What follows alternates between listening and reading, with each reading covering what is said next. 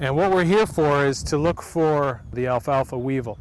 And I'm going to walk through here and just take a look at a few different areas and show you what the alfalfa weevil feeding looks like, what to look for, how to sample, how to structure your sampling, and what the insect looks like as well. Do is pick five different areas of the field. So we're going to work in this area right now, and what you want to do is pick a subsample of, I usually go with five plants per area. So in this area around me, I'll pick five plants, and from those plants, I'll pick the newest growth, the bud that is uh, not yet fully unfolded. Okay, here are five plants that I took from a about a 10 foot radius.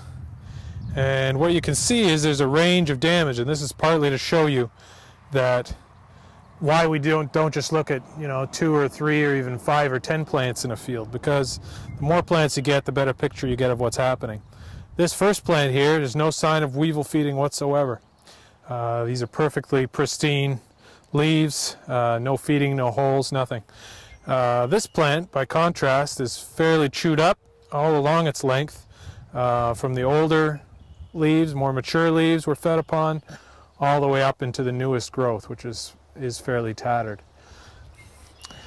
And this one similarly is probably somewhere in between the two. There's some damage, especially on the newer growth. Here's another very clean one. And here's another one with light damage. So five plants per area from at least five areas in the field. More is always better. Will give you more confidence in whatever treatment decision you make. Here is the little larva right here. Let me just unfold them and get them out and they're going to be green, some shade of green, with a whitish stripe going along the back.